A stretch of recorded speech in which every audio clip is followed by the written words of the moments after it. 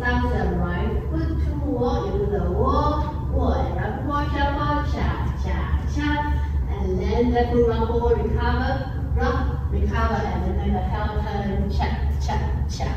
Okay, this the hips come, so right foot, one, two, three, and four, five, six, seven, and eight. And then the second section, you do the double hip bump to the right, for one, two, and double hip bump to the left three, four, and then single hip bump, right, left, right, left. So the section is count, just double bump, one, two, three, four, five, six, seven, eight. And then the third section, we're gonna do a two, one, X, S turn right. So totally is a quarter turn, just pass. So you do a cross, turn, side, forward, cross, side, forward. Okay, this section is count. So after your bump, bump, bump, bump, waist on your left, and then stop to right foot. One, two, three, four, five, six, seven, eight. And then the very last session, you step to the right foot, back, stand to the diagonal, and then swivel your left foot